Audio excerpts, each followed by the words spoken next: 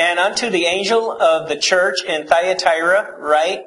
just a reminder, we have had six sessions on Thyatira. One session really was not Thyatira because we got off into millennial, the Millennium Kingdom. So, um, and I don't remember which one that was. I think it was the second one, the second week. So this will be the seventh one. So there's actually six complete messages that we'll have on Thyatira. And uh, so we've covered a lot of ground here. We've actually covered a lot of ground in all these if you put it all together. But especially Thyatira, we've covered, we've spent more time in Thyatira than in uh, the rest of these uh, individual churches. So everything is on YouTube. Uh, be good to go back if you get an opportunity and just review. Um, because um, a lot of these things, you know, we've said them. You may not hear a lot of this stuff again as we go through, because we'll, as we can continue to go through, we'll begin to uh, continue getting more newer, new stuff, and some of the stuff might build upon the foundation we've already laid. So, because uh, that's why we spent so much time going through this to try to connect the dots and draw a straight line. But anyway, so unto the angel of the church in Thyatira write, These things saith the Son of God, who has his eyes like unto a flame of fire, and his feet are like fine brass. I know thy works, and, and charity, and service, and faith, thy patience, and thy works, and the last to be more than the first. I'm going to uh, focus on verse 19 here because we've all, we've talked a lot about uh, some of the negative aspects of this church dispensation of Thyatira. We especially got into those, those apparitions and and um, a lot of the, that uh, apostasy that uh, happens during this time. But there are some good things. The, the, the church uh, dispensation and the words of Christ to this particular church dispensation is not all negative. And in verse 19, there's some real positive things. And I, I really like the way um, he, he, he starts with, I know your works. A big part of this, this, this church dispensation is Roman Catholicism. I mean, let's face it. It sticks out, you know, like a big old sword that, that comes up on the body of Christ. And there's a lot of negative things. You know, just like when, when a sword comes up and it's got pus underneath it, and if you was a lancet, you'd see all this yuck come out, right? This gross stuff. And that, uh, that stuff inside is actually, uh, not, not good for the body, right? So you gotta let it out. And we kind of pierced it. We saw all this um, stuff come out of that uh, that sore, if you will. But in verse 19, he does say something positive here. He says, I know your works. And there, down through history, there have been a lot of good works. A lot of good ministry to the poor, a lot of good things that were done. The things were done by pe- good people who loved humanity and uh, loved their, their fellow person and, and had outreaches. And so when we when we speak of these things, I don't want to I don't want us to get um, uh, misconstrue it as, as we're, we're negatively uh, talking about the, the individuals inside or what's represented inside this organization. When we say Ro- Roman Catholicism, there's, I, I still believe there's a lot of good people. The problem that I see is that the, the this woman Jezebel that, that uh, we see in the next person, we're not even going to look at her uh, much tonight, I don't think, but um, with all this false teaching and all this, this corruption that came in, it's not the, the individual people's fault. The members, they don't know any better because they're not taught properly. But they still, Jesus said, I know thy works. And, and I'm so thankful when I read that He knows what's going on. He knows us individually. He knows what our place is. He knows what we're up against. And he says, I know thy works. And he starts saying, I know thy works. And then he turns around after he says of these. He comes back to the works. Watch this. I know thy works and charity and service and faith and thy patience and thy works. He says works twice. He begins with works and he ends with works, and between all those works is works, right? He says, I know that works charity and service and faith and patience and thy works. And the last, the last of these works to be more than the first. And so, I mean, this is a really great accommodation here to this people. But it's about the only good stuff he says right here. Okay, and then the rest of it is, but I have this against you. You have this spirit inside there, this Jezebel who, who teaches apostasy and fornication and idolatry and, and he, he demands a repentance. And so, so he's not, he's not against the, the people. All he's doing is telling them, you need to, you need to hear the word and repent. The problem that we're up against and when I say we, as the church, corporately, the, the world church, if you will, and even in our own denomination, people seem like they don't, they don't have time to listen. They don't, it's like they don't think that they need to hear the word. They don't need to be taught.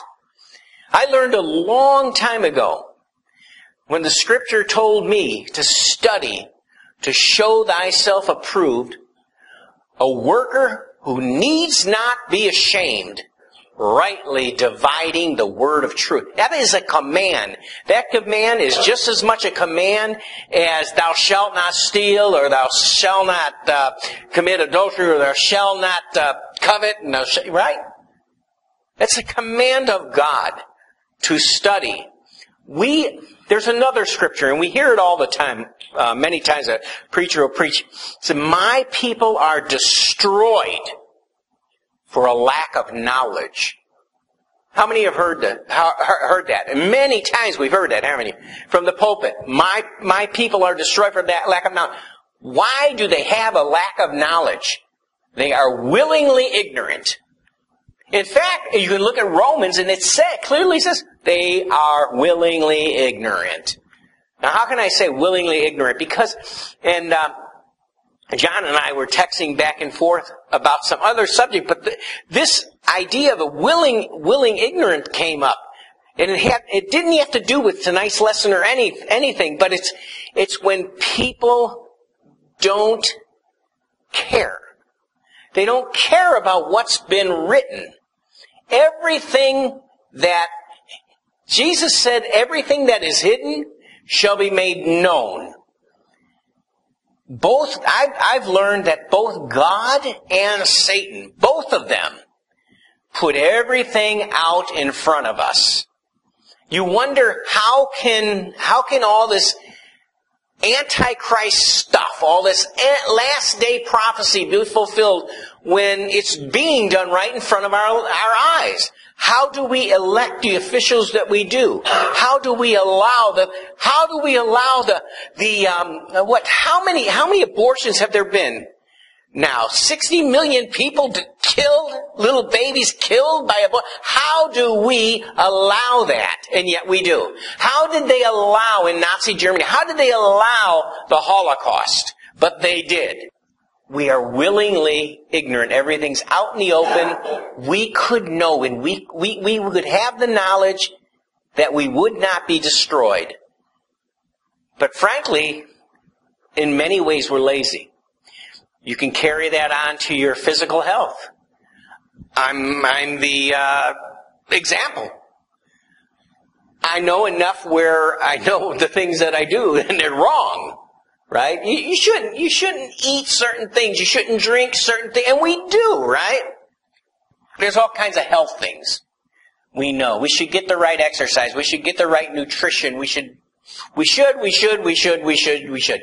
We know all that about the body, and I'm saying the same thing is true of the spirit, we can know exactly what God wants us to do because He's revealed it to us. The only way we wouldn't know is because we're not seeking the truth. And that's what Satan uses to take advantage of us. I just had this thought. I'm assuming it comes from God. I'm going to use this illustration.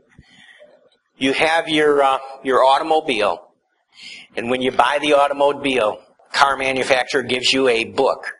In the book, it tells you the maintenance that you're supposed to do when you get the, you know, general. One of the things you're supposed to do is change the oil. And you could drive that, you could ignore that, you could just drive the car, drive the car, drive the car, never change the oil, and then eventually the, you have the engine blow a rod or something. Whose fault is that? You didn't take care of it. They told you how to take care of it, but you didn't take, why didn't you? You could say, well, I didn't know, but you did know. You just didn't care enough to look in the book and take care of it, right? And God has given us the manufacturer's book on how this thing works.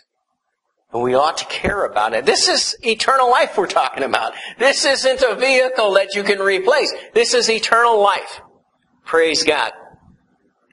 And uh, we saw in the book of Daniel, the book of Daniel, how a great empire would rise and then fall, and out of these ten horns of division, a religious beast would begin to emerge.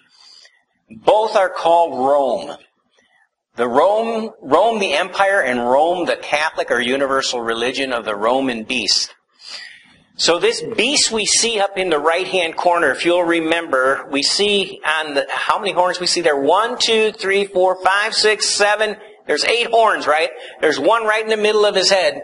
There was ten to begin with, which we don't see. When the one raised had risen, the eleventh horn, the one with the face on it, rose up. Three of them were uprooted. I don't know if you were here or if you remember, we went over that. But uh, that comes from the book of Daniel. Anyway, the one right there on top of his head with uh, the eyes and the nose and the mouth, that is the Antichrist.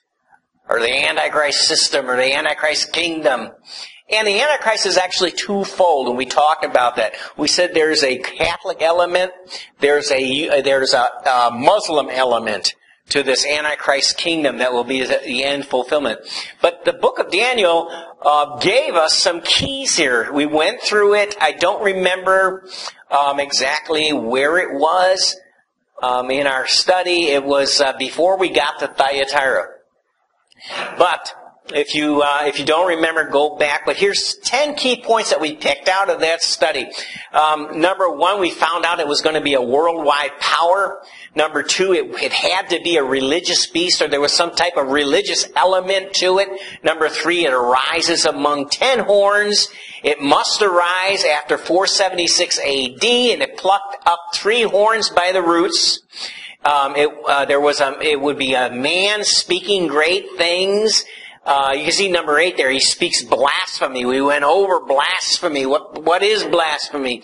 And um, uh, he would be. This kingdom would be diverse or different from anything that we've ever seen before. Any other kingdom that we ever had seen before. It persecutes the saints for three and a half years. We all know there's a tribulation period. Tribulation period consists of seven years in the, the Antichrist for the first three and a half years, the final manif- manifestation of the Antichrist, who we call the Antichrist, he will emerge and uh, for the first three and a half years, he won't really persecute the the uh, the Christian or not Christian, but the people of God at that time. But after the two witnesses are gone, there's nothing to stop him, and literally all hell breaks loose upon those who are here. And it says he persecutes the saints for three and a half years. Well, we, we, we even talk about saints because we got in a couple weeks ago, we were talking about, uh, you know, people praying to Saint Gabriel and Saint Michael and Saint Raphael and Saint this and Saint that. We said, those aren't the saints. We the people of God are the saints according to the Bible, not these statues. And, uh, and really, when you pray to a statue, you're praying to some type of spirit anyway um, behind that statue. And number ten, uh, this Antichrist would think to change laws and times. And so those were ten keys that came out of our study when we went in and we looked at this uh, rising up. Just to remind you.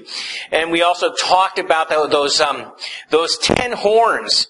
Uh, they're listed on the next slide. Oh, wait, before we go, the underneath the uh, the map, you have the statue there, which is Nebuchadnezzar's image that he saw in the dream, Daniel uh, said that these king, these uh, the image represented all these kingdoms, and you can see there at the feet of this uh, image is a stone, and that stone represented Jesus striking the image, the Messiah coming, striking the image in his feet, and it would collapse. So it represents these kingdoms until the end time, beginning with the head, which was Babylon.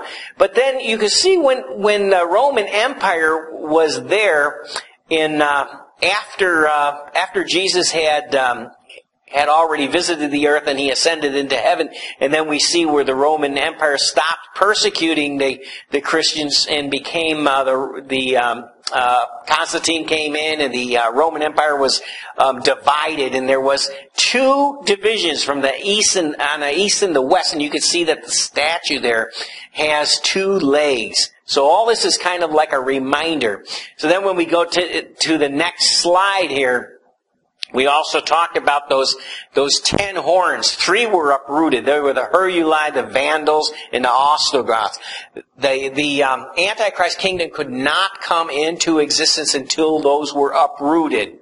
And the ones that remained, of course, you don't have to know what the names are on the left there, but they became the Germans, the Swiss, the French, the Italians, the English, the Portuguese, and the Spanish. They still exist even to this day. The rest of this stuff should be, that was a kind of a repeat. The next, the rest of this stuff should be uh, relatively new then. I don't think we've covered any of this. But, uh, but um, this person here, this is uh, Saint Augustine, uh, or known as Saint Augustine of Canterbury. I don't know if you've ever heard of him. Anyway, when it, when we talk about saint this or saint that, there's these ones like we mentioned, there's this, the ones that they pray to that are supposed to be in heaven, and then there's ones who they refer to in their writings as, as saint this and saint that on this earth. We are, if we're in a church, we're all saints. So don't let that throw you. But there is, there is a historical person called Saint Augustine Canterbury. And, and this Augustine of Canterbury was a, Benedictine monk who became the first Archbishop of Canterbury in the year 597 AD. And now Pope Gregory the Great sent him to England to convert the Anglo-Saxons to Christianity. And when he got there, he reported that there were savage barbarians which existed throughout England, and Augustine was made the bishop then and given authority over all future English bishops. So isn't that something? So the, so the Pope sent him there, and then he gave him the authority over all future English bishops. You see how this outstretching of this authority, how Rome is, is trying to, to take authority even over England. Now we know from history what happened, right? The, the Anglican Church of England actually ended up the uh, coming out of it a uh, complete split from Rome, and and we'll see that uh, we'll see that later. But um, Rome never did really have the authority that they pretended to have. There was, um, they claimed that um, when Jesus said to Peter, "Your name is Peter, and on this upon this rock I will build my church." It really is. If, if you understand Greek, it's it's a joke. It's a it's such a joke because they say the name Peter was Petra, which is a rock, but really the name Peter actually was, it was a, sm- uh, the literal meaning was a small pebble. The rock was Jesus. The rock was, we saw the rock with the image that was coming down to hit the statue, right, in the feet. That was the Messiah. And when Jesus was comparing himself and the gospel message that he brought with Peter, he said, but you are just a small pebble. He said, but upon this rock, he meant himself and the word of God upon this rock I shall build my church and the gates of hell shall not prevail against it. And so how they ever succeeded in making, uh, causing people to believe that from that Peter was given the keys of, of heaven all by himself. No, the twelve apostles were given the keys of the kingdom. Then they were sent into the world and they had the authority sent out by God. There was not 11 apostles plus one was in charge. There were 12 apostles. They were all equal. And out of those 12 apostles sprang forth the entire uh, Christian church and all the authority that goes back up to Jesus. And, and you know what? Jesus is in heaven. Jesus sits at the right hand of the Father, but He is on the throne. He is still alive, and He's still the boss. Who's who's the one in uh, in the uh, music industry they call the boss?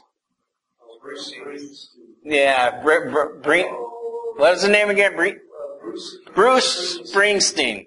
Well, Jesus is the real boss. Okay. There's no Bruce Springsteen is the is the Springsteen is the uh, boss. Jesus is the boss. The vicar of Christ is not the boss. The Pope is not the boss. Jesus is still alive. He's still on the throne. He dispatches us, right?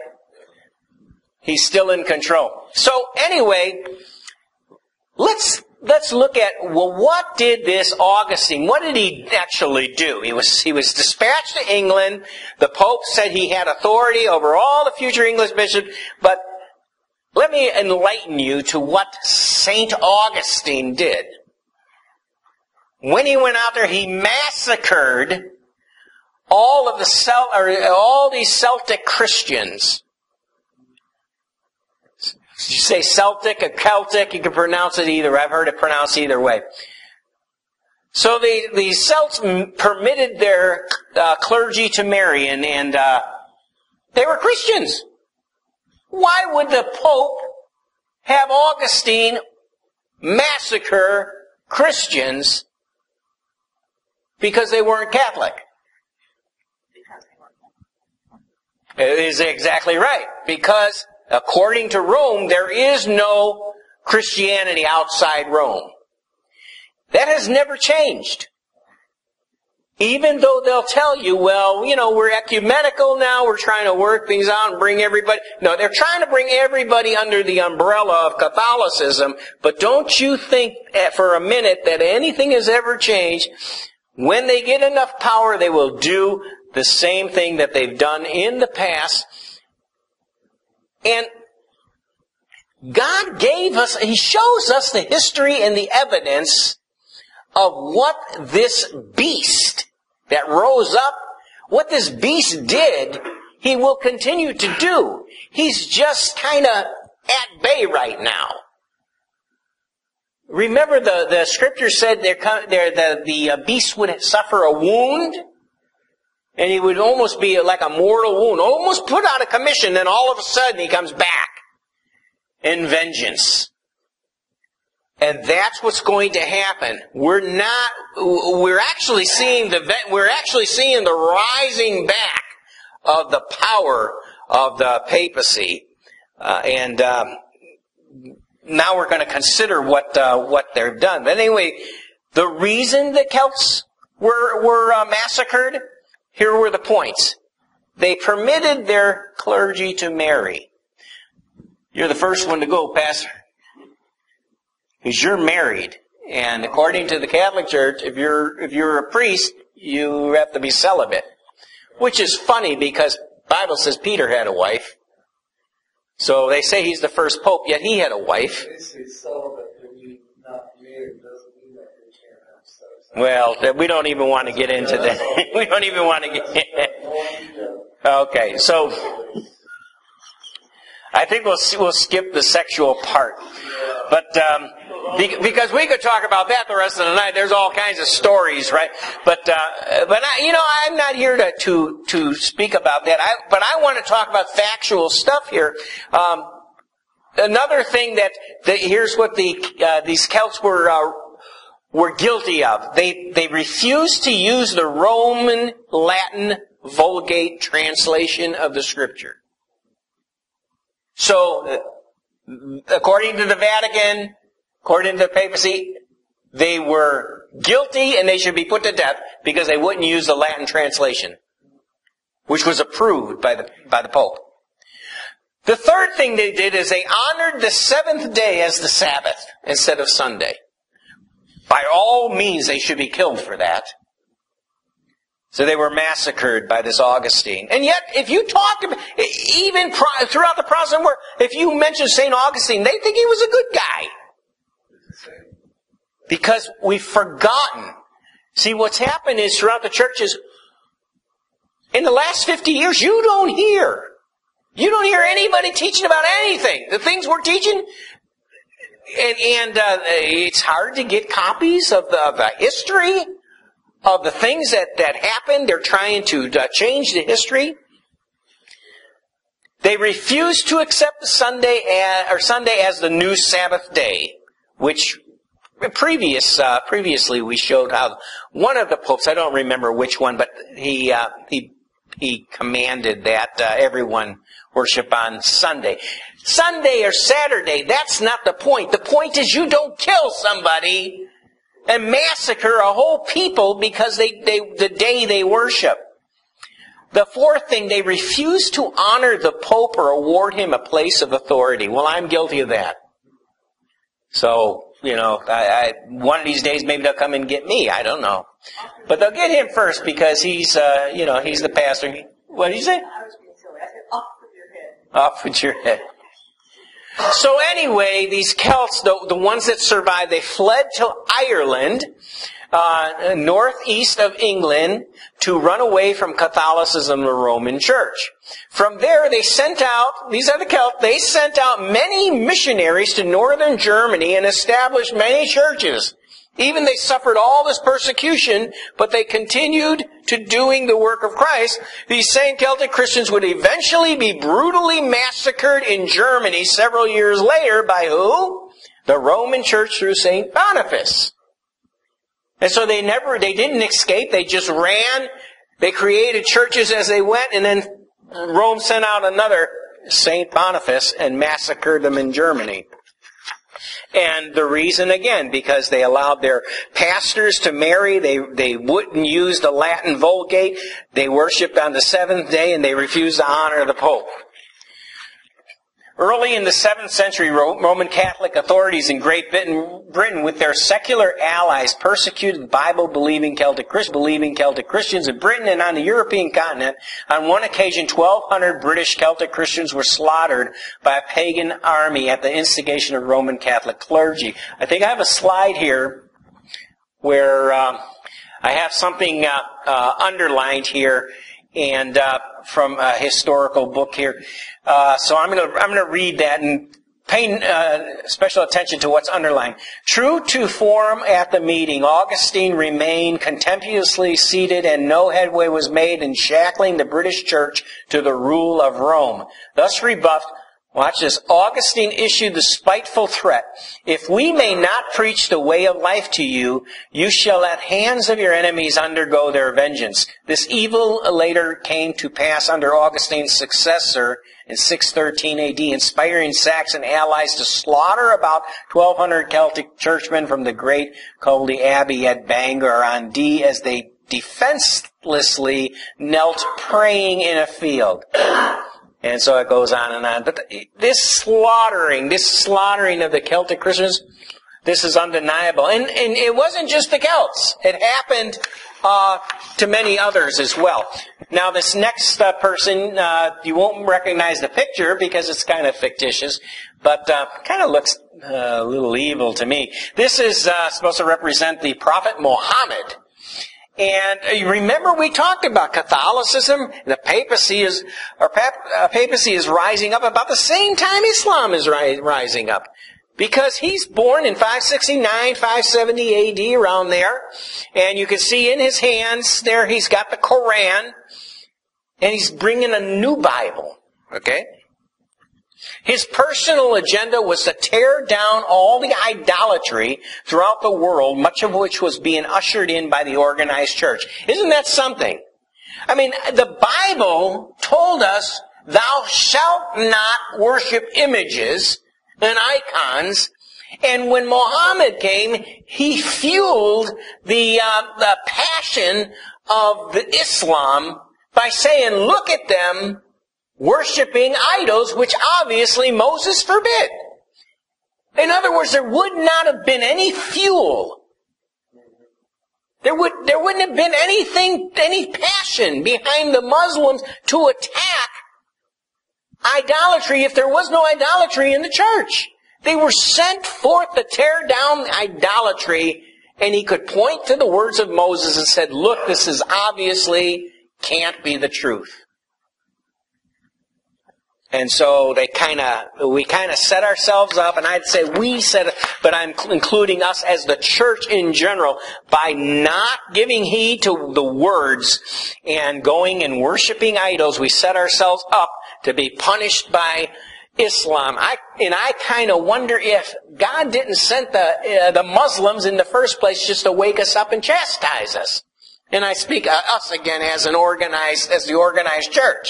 I said, what are you doing? In fact, there was even the, um, uh, emperors that they, they had a, a, movement called the iconoclasts where, where they, the emperors uh, in the Roman Empire arose and said, tear down these images. This is not of God. And they only lasted a small time until they could, till Rome could get their, you know, their image loving, uh, popes back in power, or emperors back in power. This uh, next slide here, this represents a, uh, a change in doctrinal belief. Remember, um, we, it's, it's interesting that we, we spoke in, uh, in Thyatira on the second week. We spoke about the millennial kingdom. We talked about the thousand years, thousand year millennial kingdom, right? And it's interesting, uh, that this came, this came up at that time. I had no, uh, uh, I didn't know we would even bring this up at, at this time. So, uh, it's kind of interesting way the Spirit brought that out. But um, uh, this doctrine of postmillennialism came in about this time as well. What postmillennialism was is that uh, the belief that the that Jesus would come and that the uh, but he would come in the the way um, uh, the Catholic Church um, modified it was that Jesus would come in the essence or, or the manifestation through the papacy. And the kingdom, millennial kingdom would be or come forth out of the papacy, ushering in a thousand years of peace and prosperity. And so they, basically what did they do? They gave up on the original doctrine of the second coming of Christ, ushering in that millennial kingdom. In fact, uh, you don't, you can, you can go throughout uh, the churches throughout this country. There's very few churches that actually believe in a literal thousand year kingdom that uh, Christ will set up here upon the earth. Now, we could argue, and, and, you know, some people say, well, you know, some people, you know, believe this, and some people believe that, and it doesn't really matter. Well, here's the problem. The New Testament talks about a thousand year millennium. All of the, the Old Testament prophets do. God spent all of this, all these words. He, he spoke to the prophets, all these words he had written down to tell us about the millennial kingdom. And now what, he changed his mind? Now it's not going to happen? Now this could be, seem funny, but remember, remember Jesus said this. He said, you will give an account of every idle word. God doesn't speak idle words. Everything in the book, every word of God has to come to pass. Every prophecy in the book has to come to pass. And so everything that talks about this millennial kingdom has to come to pass. That, that temple in the book of Ezekiel that takes up about 10 chapters has to be built. There's no ifs, ands, and buts about it. It has to be. Now here we have uh, Stephen the Second. It's about 752 AD. He requested that Pepin, the king of the Franks, uh, would uh, lead his army to Italy and conquer the Lombards, which had attacked and pillaged Italy. Uh, what happened is, remember, we saw the horns rise up, the, the ten horns. Three were uprooted. The, the papacy begins to rise. Um, Rome is being attacked by barbarous tribes from all over. And Stephen uh, convinces the uh, this Pepin, who's the king of the Franks at that time, to come and help him to uh, uh attack these uh, Lombards, which were uh, attacking Italy. So Pepin was successful, and he gave a large portion of territory in central Italy to the Pope, which became the beginning of the Papal States. How many know that the, the Vatican is actually its own sovereign nation? It even has a chair and a place in the United Nations. It's recognized by all nations of the world. It's the only religious leader recognized by every nation, including the United Nations. It has its own sovereignty, it has its own military, it has its own intelligence. How many have ever heard of the mafia? Is the mafia controlled? But you know, some say, "Well, mafia doesn't exist anymore." Well, I, I, don't. I don't buy that. I believe organized crime does not just go away; it just changes names. Anybody that thinks that there's no more crime or organized crime, it just changed. Their names change, the face change.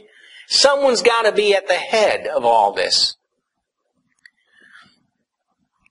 This is when the the Pope got became, when, when the papacy became a sovereign nation, this is when they had, they got all this land, all these, all these papal states, and had their own sovereignty. This was the beginning of the kingdom, if you will. So they gave, the, the papacy had rightful dominion and, it, and this continued for 1100 years until King, King Victor Emmanuel returned territories to the nation of Italy in 1870. So in 1870, the, the uh, papacy actually lost all those papal states. And many people believe that this is when papacy received a mortal wound. This was very destructive to the authority because what happened is, how can you be a nation, a sovereign king, over territories that you don't own anymore? Could you imagine, let's just use Obama. Just, so let, you know, King Obama, who's in, the, you know, king over this country, the president, right? I'm just kind of being facetious, but we're just going to use him as an example. What if somebody came, some other country came and took all 50 states away from him? How much authority would Obama have? Nothing. The only reason he has authority is because he, he, he reigns over 50 states, right? This is what happened to the, the Pope when they lost all of the states. It was a mortal wound on the head of the beast. And it looked like from if you were if you were an observer, you would think that would be the end of the papacy. You know when it revived? During the days of Mussolini, right around World War II. So here you have Pope Gregory III, and he was in 740 AD. Uh, he uh, he asked Charles Martel, who was the um, I believe he's a son of uh, uh, Pepin. We were just we were talking about uh, uh, Pepin, who was the king of the Franks. Um, Charles Martelli, he asked him to come to the Pope's aid against the Germanic tribes of the Lombards and the Muslims. Uh, I don't know how much you know about the Muslim kingdom, but we, this is why we brought up Muhammad. After Muhammad's birth, came this Muslims. They they they began out of the um, the Middle East and they they came down uh, through Africa all the way through the North Africa and came up into Spain. And they began to attack Europe, and something had to be done. And so the the papacy needed help, and so they got uh, Charles Martel to come, and Charles Martel uh, pushed them back into Africa you wonder how did uh, how did the Muslims ever get you know such a hold on on the northern part of Africa? That's how they did it and when they did it. but note that uh, by 721, the Emir of Cordoba had built up a strong army from Morocco, Yemen, and Syria to conquer Aquitaine from the southwestern edge of France. The caliphate is called an empire. This, uh, the Muslim empire, you can see how it started there in the Middle East. Um, anything towards the right of the Mediterranean Sea there uh, was where it began. Well, actually, um, if you go down um, where uh, Mecca was, and uh, you can see the Muslims were in, in on the um, on the right side of that map, and all of the how they uh, the the Muslims just uh, spread out across North Africa. You can see on the left, the top of the map at the left top corner is where Spain is. They came all the way through there, and then up into the northern part. Now, if you you're we can't see too much the clarity of this map here, but when you see it on the video, you'll see that there's actually um, three different uh, colors schemes on this map that shows how the spread of Islam uh, actually uh, grew, and um, over the years. It didn't take that long. It, it, happened pretty quick, actually, and you could see how large. If you if you if you could see, because the uh, Muslim Empire almost completely took over Spain. So uh, from the one the one side of this map all the way to the other, that's how this this is uh, Muslim caliphate, Islamic caliphate grew. This is what they're trying when they talk about ISIS today. This is what they're trying to do today. They say ISIS is the new caliphate. This is what people even from our country are going over and joining forces because they're they're Muslim and they're being called. He said uh, that uh, that Allah needs you now. Remember the posters we used to have with Uncle Sam? Uncle Sam wants you. Well, that's kind of what they're doing with Facebook and, and Twitter. He said Allah wants you, and if you're you're true to Allah, then you should come and establish the caliphate. The really, the, the reason this is so important, just like we, our, uh, our Christianity has Bible prophecy about the end times, Islam has their own flavor of end time prophecy.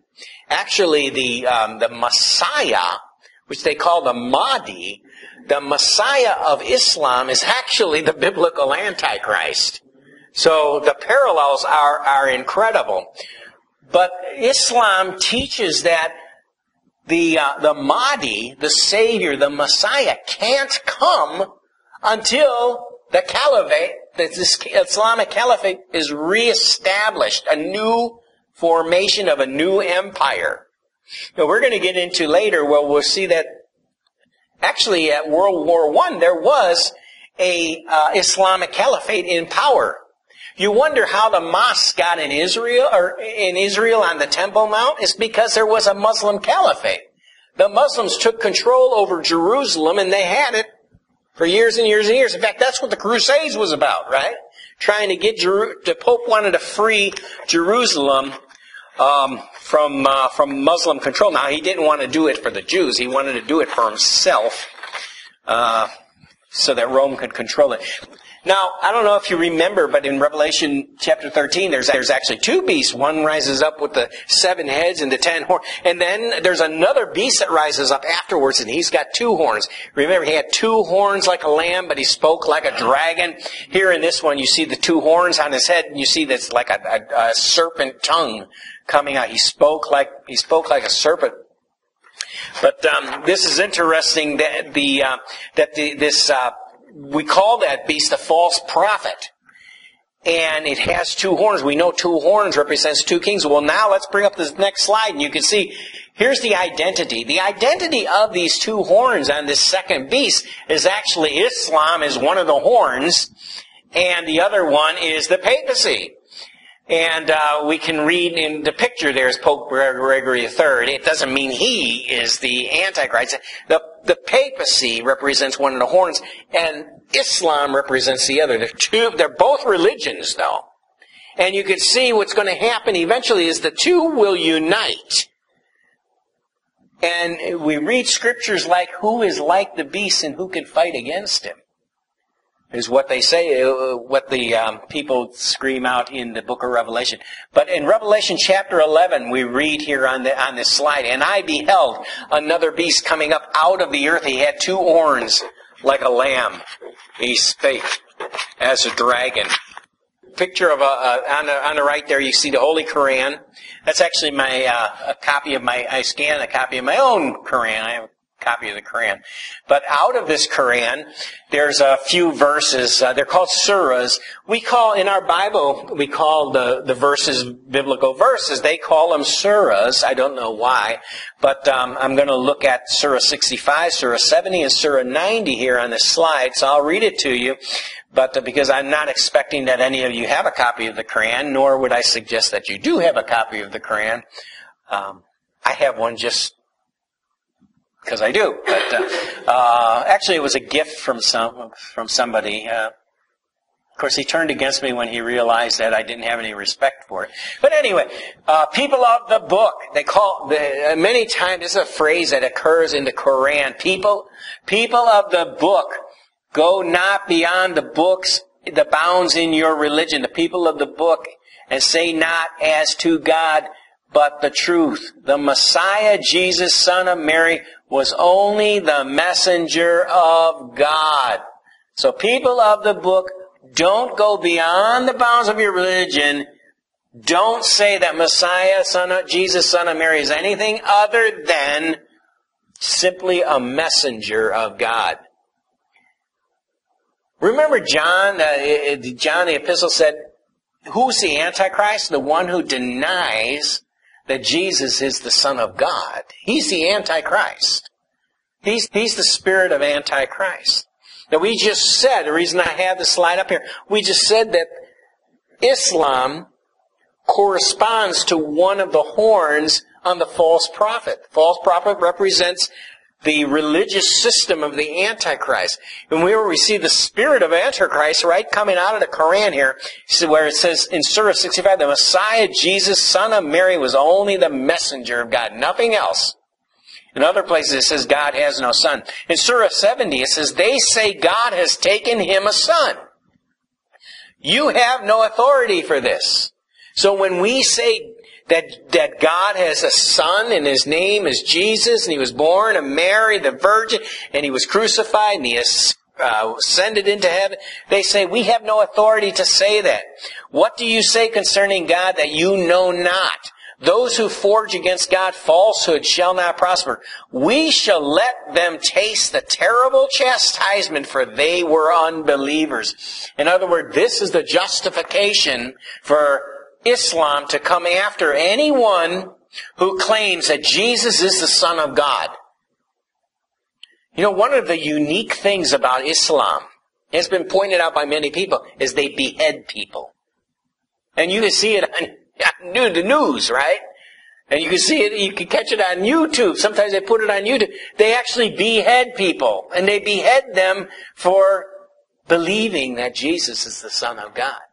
For not um, rejecting Christ and joining Allah and becoming Muslim. They believe they're justified because the Quran in chapter 70 says, we shall let them taste the terrible chastisement for they were unbelievers. Why? Because they're saying that God took him a son. In Surah 90 it says, And they say, The All-Merciful has taken unto himself a son. You have indeed advanced something hideous. Well, there's three verses right there, but there's a lot more in the Quran. In fact, anyone can sit down, they can read the Quran, and they would have to conclude this is spirit of Antichrist. There's no two ways about it. And uh, it's interesting how the two join later on. Uh, the two will join uh, it together to uh, to support this Antichrist kingdom. So anyway, so what what we brought up here, we had a picture, a slide. We had Pope Gregory the Great who was around 590 through 604. He represented the papacy at the same time the Prophet Muhammad 560 was born 569, 570. So right around that time, 590, he's rising up. Uh, when he was in his 20s, and and uh, he represent the prophet of Islam. Together, they will eventually. You can see it actually on the horns. You can see um, in yellow there on the horns. One says Catholicism, the other says Islam. I put that on there so you can see it. Uh, how many recognize this character? He's got John's favorite hat. I thought John John got ba- or uh, he had become a member in the church, and I thought he was going to be given one of these hats. But but here's here's the stuff that's interesting about what's happening right now. This is right out of headlines. Pope Francis declares that Christians and Muslims are brothers and sisters. Wow. Did you ever expect that, that the Pope would come out and make such an announcement? Interesting. Chrislam's Rick Warren. How many know who Rick Warren is? He's really famous in, in the church. He uh, came out with that, uh, the book, uh, Prince, what was it, uh, Principles, Purpose, purpose driven life. Yeah, and it was big. It was it was it, it was big, and um, he's very uh, very popular in uh, in the uh, Christian community. Anyway, Chris, they, we say Chrislam's Rick Warren because he is part he's partnering with mosques to teach that God and Allah are the same. In other words, God and Allah are the same God. So uh, it's something to be aware of. If you ask an, if you ask a Muslim, if you say, uh, uh, "What does Allah mean?" and they would say God. But if you call God anything other than Allah, then they say it's unacceptable. You must call God by the name Allah. You can't. He said uh, uh, Islam will say that Allah is the God of Abraham. But if you say, then Allah is equal to Jehovah, they would say yes. But if you call God Jehovah, they say, no, you can't, you can't do that. You gotta call him Allah. Because the name means God. Anyway, uh, uh, Rick Warren has, is uh, trying to uh, to be helpful in uh, getting uh, mosques and Muslims to to work together uh, with Christians. And now these are all, this is, this is where we live. This, this is all from this year. Pope Francis unites Hindus, Muslims, and Buddhists to sign a pact with Rome. Let's all work together. And you can see this come. This is this is like unheard of. This is things that you know. I I, I used to uh, warn and I used to uh, preach about these things that they were coming. They were coming. They were coming. And here today, I mean, you can imagine you know, my skin's about ready to come off my bones when I see this. It's, it's, uh, it, to me, it's almost amazing to have, to have known that this is, it, this has to come and then to see it, to actually emerging. And yet, it seems like the rest of the world and the, and the rest of this country is almost silent. The rest of the denomination, who is speaking out against it? Very few people are speaking out against it. Evangelicals and Catholics together. How many heard this? In March, on March 29, 1994, a joint declaration was signed called Evangelicals and Catholics Together, the Christian mission in the third millennium. The compromise of the gospel lies at the heart of their agreement. But the gospel has not changed. Or has it? According to what we're seeing with our eyes, according to what's developing, it seems like the gospel has changed. I've referred to this a, a couple, a few times as we've been going through this study. Um, I don't know that I gave you the actual year that they that they signed, but major d- Christian denominations have signed a pact with the Catholic, with with Roman Catholicism, with the Pope, that they will no longer teach anything against the Catholic Church. They will never, they will not teach that there's any association of uh, Catholicism with Antichrist and the spirit of Antichrist. Yet this is going on. And so you, you're, you're seeing the beginnings of it. Uh, you can see uh, on, on the same slide this famous, uh, it's kind of like a famous bumper sticker now, all over. Coexists. Every one of those signs is a sign. Uh, in fact, I don't know what they all are. Let's see if we can go through it. We have uh, we have an Islam sign. Um, I'm not sure what the upside down uh, peace sign is. What is it? Hippies. Uh, well, it's upside down though, and it, it uh, it's like an now, I know Satan takes the cross, and if you notice the Catholic cross is bent, it's like bent. If you take it upside down, it's, um, uh, Satan always turned it down.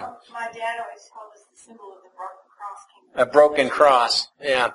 So, uh, and I don't know what this next one in the middle is. The other one is, of course, Judaism. Uh, the, uh, the S there is the yin and the yang, right? And of course the cross at the end for Christianity. And uh, anyway, the whole idea implied there is we can form one religion because how many have heard this? Very common. All of us, all religions basically teach the same thing. It's not true. Well, yeah, today they basically teach the same thing because the church has stopped preaching the Bible. They don't all teach the same thing, or they shouldn't all teach the same thing. In 800 AD, the Holy Roman Empire begins to rise. He's Charles the Great. You can see his picture here. Um, he was called. Uh, his real name was Charlemagne, which the name means Charles the Great. You can see his uh, his empire there. And you can see up there at the top, you can see Anglo-Saxon or, or the, the uh, British Kingdom up there. Um, so you can get a proximity of, of where or how much of this, um, uh, where, where this empire was located. It's basically Europe here.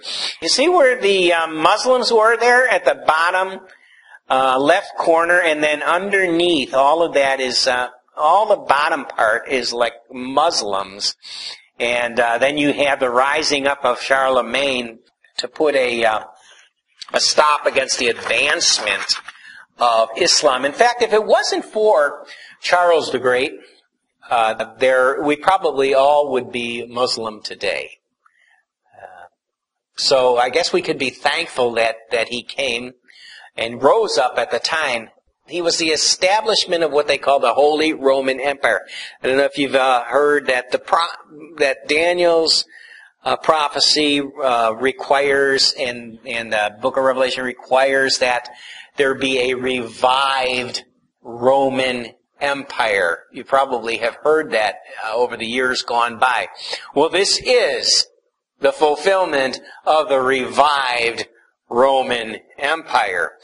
Remember, we talked about um, the suffering of. Uh, uh, we, we saw about the uh, Rome and the, the ten horns and the uprooting of the three horns, and the um, those seven horns continue to exist as separate entities. But here comes Charlemagne to begin to unite all of Europe under one uh, under one emp- emperor, uh, empire and one emperor. Anyway, Charlemagne reigned for 46 years with many wars and conquests. Uh, by the way, uh, how many have heard Adolf Hitler and the Third Reich? Well, you ever wonder how did they jump to the Third Reich? Where, where was the First Reich and the Second Reich? don't don't you think you should you should have a, a First Reich if you're going to have a third one? Well, this is the First Reich right here, Holy Roman Empire. Charlemagne is it's the beginning of the first the first Reich, and uh, so Adolf Hitler becomes the third. But uh, we'll we'll actually get into that at some point in time. But uh, so Charlemagne reigned for 46 years, many wars and conquests. The kingdom spanned Germany, France, Switzerland, Austria, Austria, Hungary, Belgium, Spain, Italy. He was one of the greatest influences in bringing the papacy to a position of world power and recognition. See, if it wasn't for him, there wouldn't be any papacy. And the Muslims would have conquered the papacy, and, and they and all of us would eventually have been Muslim. So I don't know how I really feel about that. Of course, I'm sure God would have intervened, but um, no reason to speculate. I'm sure there was some good that came out of it, uh, because uh, there was protection being afforded. But remember, the protection is, as uh, Charlemagne becomes emperor of the Holy Roman Empire, he's beefing up the papacy. And uh, you still have all these Christians that are pushed underground because they don't recognize the papacy, right? They don't recognize the Pope. So they're still being persecuted in the empire. So what's the difference if you're being persecuted by Islam or you're being persecuted by the Holy Roman Empire or, or, or, the papacy? You're still being persecuted. You're still being, we saw what they did to the Celts, right? We already talked about the massacre of the Celts who are basically, are uh, innocent. So after the death of, uh, of uh, Charlemagne, the kingdom would be divided as in the Treaty of Verdun, becoming the foundations of France, Germany, and Italy. There were, there were uh, I believe, three brothers. And uh, so it gave rise to the continual struggle between the popes and Germany and France kings. The Holy Roman Empire would continue for 1,000 years after this until Napoleon brought an end to it in 1806. Uh, Napoleon, by the way, he actually went in there and took the Pope hostage and threw him in jail and really crushed, uh, uh, crushed the uh, papacy's power at the time.